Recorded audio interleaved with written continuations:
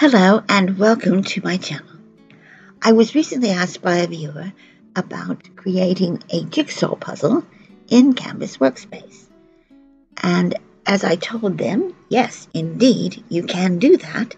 However, you don't create the jigsaw puzzle in Canvas Workspace.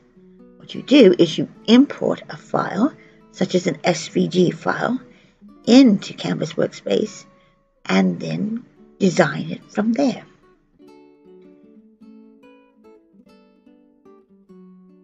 So what normally happens is jigsaws are designed in uh, more conducive design software such as InDesign or even something like Corel Draw or Illustrator, those sort of, of uh, software programs.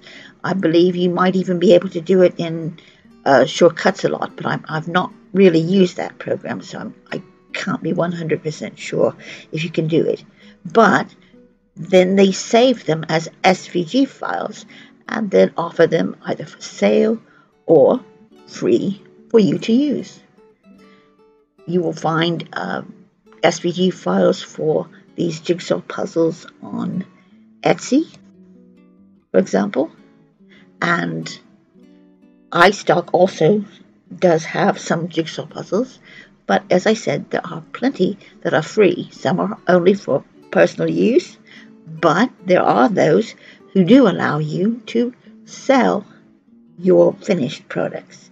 And it's that latter uh, group of designers that I've chosen to show you today, where I'm going to be creating some little jigsaw puzzles as well as a card that is in the form of a jigsaw. So it's time now to head over to Canvas Workspace and I'll show you how.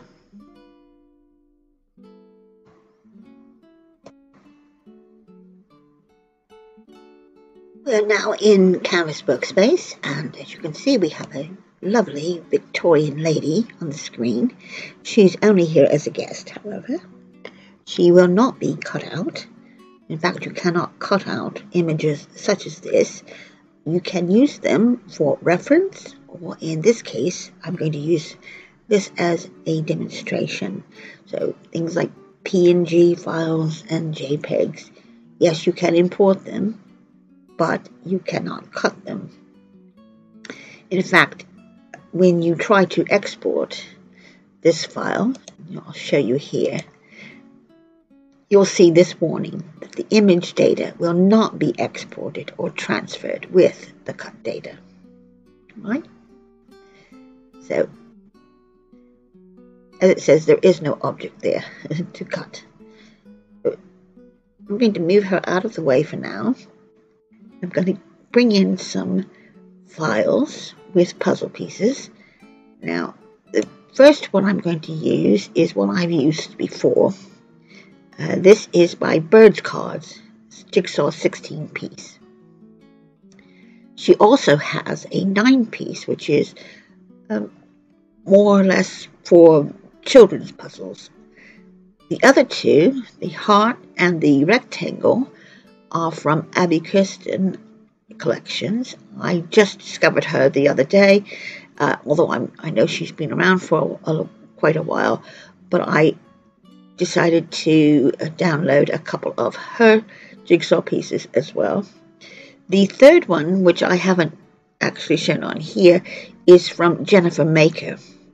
She also has jigsaw puzzles pieces and she has the videos showing how to put them together. And in all th three cases, they do allow for at least some commercial use.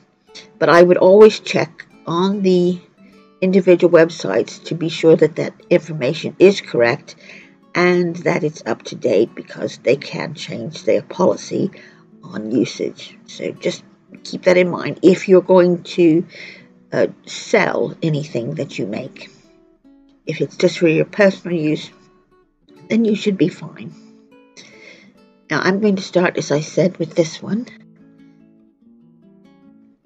And also, I will leave links to all their websites in the description box below if I didn't say that already. So this is the 16 piece. You can see. And you want to be sure that you group this because as you see, it's not grouped at the moment. And unless you are wanting to just have a blank jigsaw in which maybe you would like to do your own drawing in, in here or you're using it as, as perhaps as a, um, a another layer because you might want to layer up your pieces then you could have them you know individual. But there's really no point because they're going to cut individually but when you send it to your ScanNCut, you can have it grouped and then you're not um, in danger of it coming apart on you. And as you can see, if I place this over this image here, if you had not gripped that, you run the risk of some of those pieces perhaps coming coming apart. And let's just show you here. So let's say that you accidentally moved one of the pieces. That's going to actually uh, ruin your your actual jigsaw so you don't want to do that let's put that back and we've grouped it back again oh, not yet To group that again. It is so we can place that over top of our image. If you wanted something like this, you could have a lovely puzzle of her head and shoulders there. Or indeed you could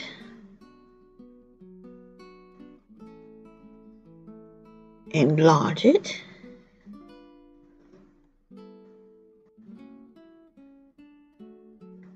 along with your image depending on how how large a, an image you had need to be sure that's within the cutting area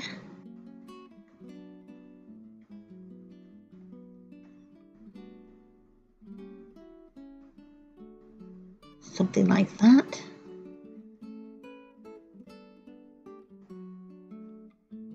Or you also can change the shape. You need to be careful about distorting that. So let's say you had a lovely sheet of pattern paper or maybe a scene from in one of your um, scrapbook uh, pieces, you could make that to completely fill it. As I said, you can change it around like that. Just keep in mind, as I said, you don't get too distorted because you don't want something that looks more like that. Okay, so let's delete that one and we'll go over and grab another. Here's a rectangle. Now this is one that is from Abbi Kirsten. And again, these are individual pieces, so you want to group that and we'll make it transparent. So this one has 20 pieces rather than the 16.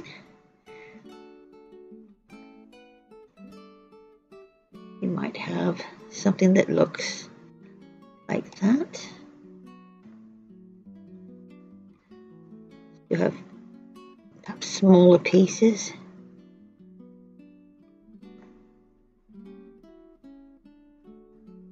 And that is a second choice. The third choice is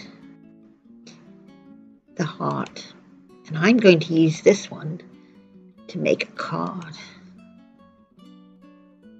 And when we get to the machine, to the craft desk, I'll show you how I'm going to use this. So again, want to group it.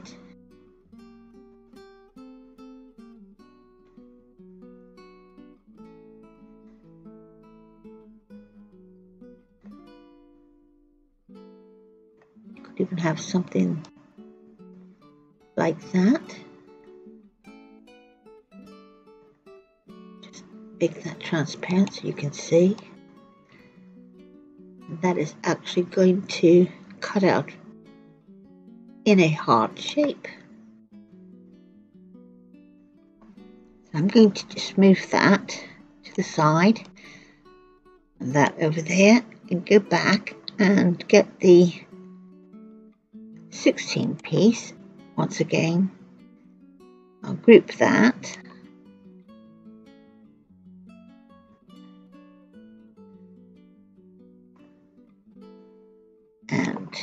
the last one is this rectangle here.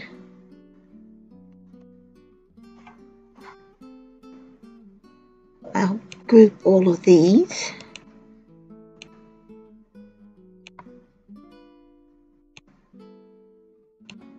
I just place that here on the mat along with the other two.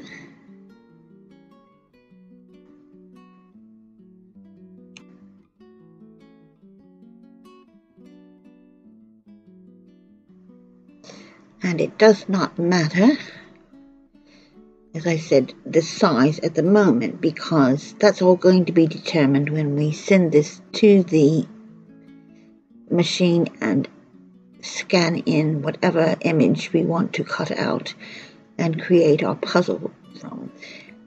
Now you have various choices as to what you'll use to cut out your puzzle. You could use uh, a light chipboard, you could use uh, craft card, you could use card, you could use printable vinyl, you could use sticker sheets, anything like that. I don't have these the sticker sheets or the printable vinyl, but I do have card. I do have light chipboard actually in the form of a cereal box so that I'm going to use and I have some craft card.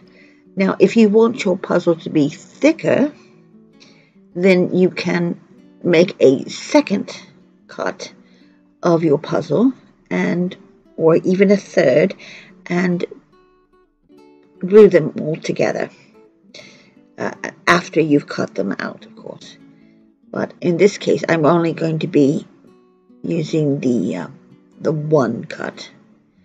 And you'll see that when I after I send these to the machine and have cut them out so we'll export this. Remembering that the image data is not going to be transferred. Send it on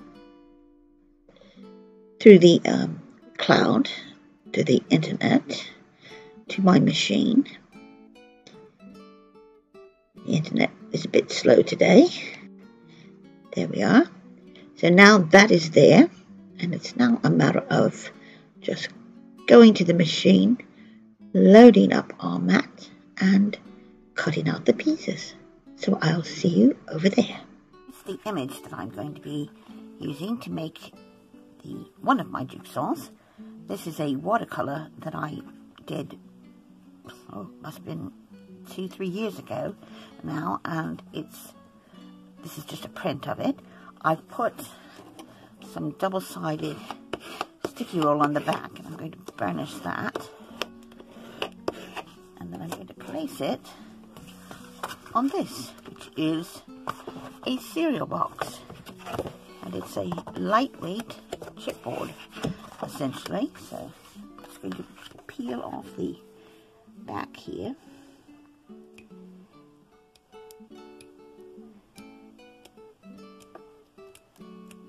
flick that and get it started then I'll peel the backing off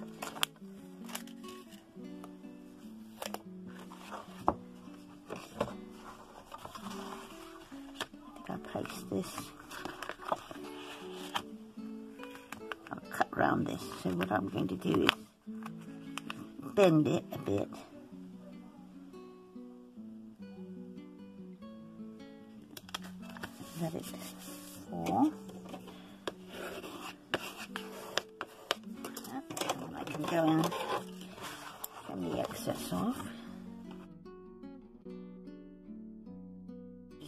Using uh, are this little house mouse, which I'm going to use for a card. And I thought this would make a nice children's puzzle. So I'm going to get those on the mat, cut these out, and I'll be back. Here are the results of two of those puzzles. This is the children's cars. I really think that came out very nicely. This was the paper which was just glued onto a piece of craft cardstock. And it's really quite uh, quite thick. But if you wanted it even thicker, then you would need to cut it out twice and then glue glue it together. But I, I think this is, is really fine. This is not too bad. The other piece was the cereal box or the light chipboard. Now I will warn you that this does take quite a few passes with this because it is so thick and so dense. Plus it had the um, extra layer in between with the sticky back uh, backing on it. So don't be alarmed if it does take quite a few passes. When I watched the Cricut video, they were using the um, maker with the knife blade to cut the puzzle and it took 21 passes. So just so you are aware that it will take quite a few uh, passes uh, to complete, but it does turn out very nicely. Of course, you could, if you wanted, coat these with maybe something like a Mod Podge. And of course, don't forget to take a photograph or provide a, a little picture of the completed puzzle, unless you're going to be mean and not do that. But I would not recommend that if you want to uh, stay um, on good terms with whoever you give this to. But there we have the puzzles. And you could put that in a nice little gift box. And it would be nice if you had uh, perhaps uh, a photograph of someone. You could do that or you could have their favorite um, film star or their favorite sports hero or um, you know their, their favorite artist you know whatever you like. And the other piece that i did was the heart shape. And this is the one where I took a piece out. Right and I've already put the card together. It's a 5 by 5 card, and I've just mounted um, it with some this teal blue here, and uh, I guess it's almost a green, greenish blue, and then here you'll see something is missing. And you open it inside, and there's the missing piece, you. So that is the little card and the heart shape. Again, you could give this, though, as a puzzle all on its own. I do hope you enjoyed this video and that you're inspired to try making your own custom puzzles.